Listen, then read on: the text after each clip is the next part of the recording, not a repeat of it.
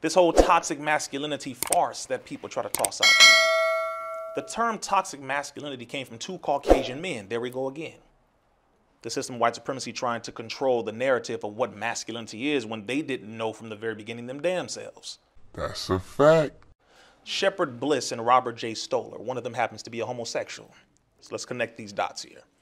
so a homosexual Caucasian man is going to tell heterosexual nations of original men what masculinity is. Get the French toast out of here. Not possible.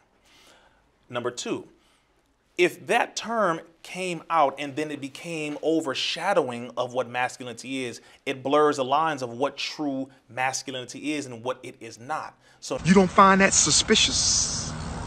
You don't find that suspicious. Now what people perceive as masculinity is putting their hands on a woman that's masculine. No, that's not what masculinity is. Masculinity would prevent a man from putting his hands on his woman. Mm. Masculinity protects the community. Masculinity raises and respects children. Masculinity secures women. Masculinity makes it to where you're not going to step over here and not get checked if you don't operate properly. That's what masculinity is. Yep, that's right. I'm running things. I'm running things. Cream corn. That's why they call me that. Smooth.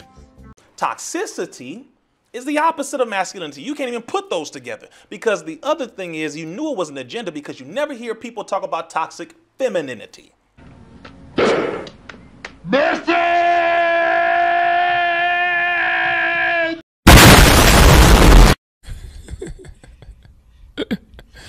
Sensational. Goodbye.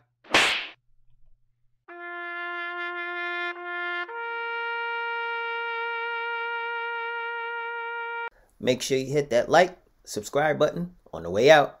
I'll see you on the next one.